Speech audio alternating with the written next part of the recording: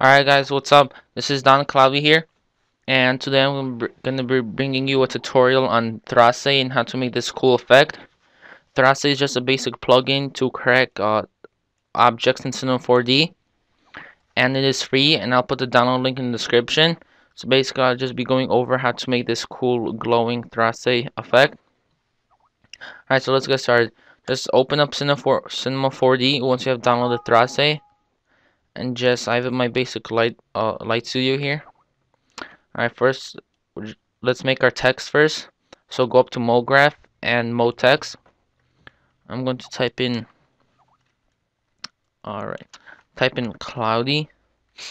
Uh, change the depth to 75 I'm going to go on caps fill up cap.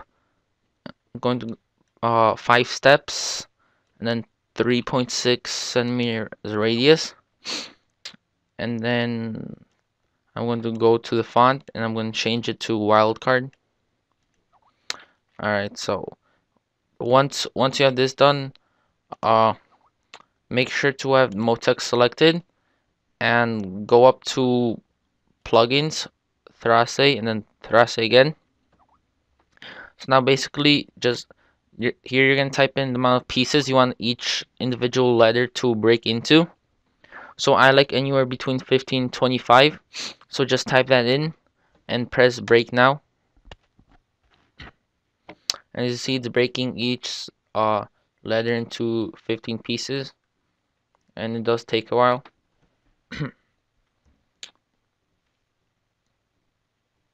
Alright. Alright so it's done.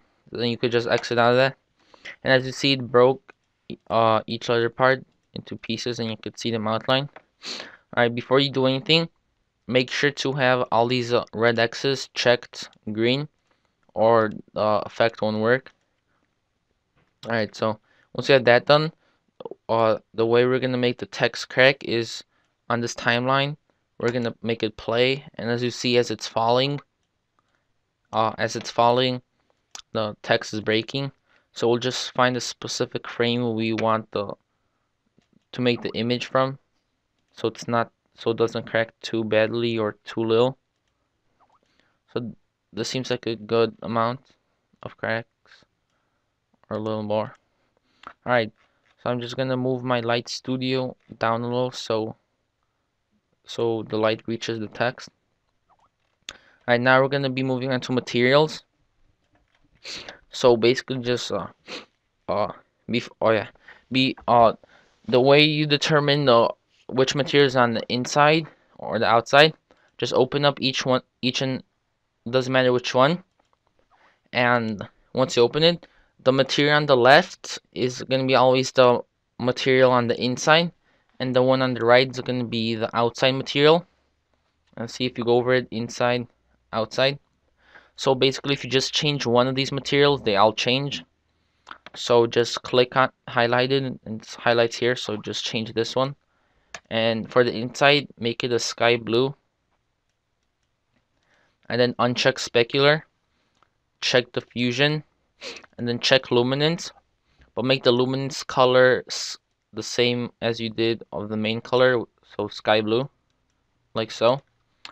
And then yeah see it changed all all the materials in the letters. Alright now the outside material just click on it highlights this one so change this one. Leave specular uh, change the color to bright white. And then go on reflection. Make the brightness 2 the texture Fresnel. The mix strength 1% and the blurriness 3 and you see it changed all of them again. That's good. So now uh, the render settings go on the render settings make the output 1280 by 720 like always make make the frame range current frame go on to saves and then pick a destination. So I'll just pick desktop and then make sure the format's P PNG and make sure it's alpha channel and uh, skip multipass and go into anti-aliasing. So make make it choose best for anti-aliasing and then uh, the the min level put one by one and the max level two by two. And then uh for go down to effect and uh, pick global illumination ambient occlusion and color correction and depth of field. The render will take longer but the quality is much better. Alright so once you have all this done just exit out and render it and uh, I'll come back to you when it's all done and rendered. Alright so as you see I rendered out and the effect came pretty cool. So it looks like the text is cracking and there's something glowing inside of it so it's pretty cool effect for background. So let's import this into Photoshop and uh, let's use it for a background basically. And I'll just show you some other examples I made. Um, here's one here's another the D cracking a lot and here's a good one. Alright so thanks for watching uh subscribe if you want to see more and uh, down recruit GFX recruitment challenges out so check that out